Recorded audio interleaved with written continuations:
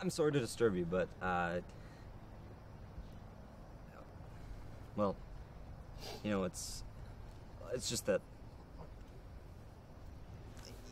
You appear to be leaking. Where are these little crafts gonna get you? Your dad's probably a lot like you, right? No, he passed away when I was 13. She's asked me to take the paintings down. She just doesn't get it. She never did. All creative people want to do the unexpected.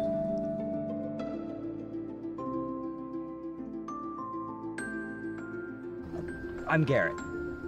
I'm Mimi. So, kiddo, bring your work to life.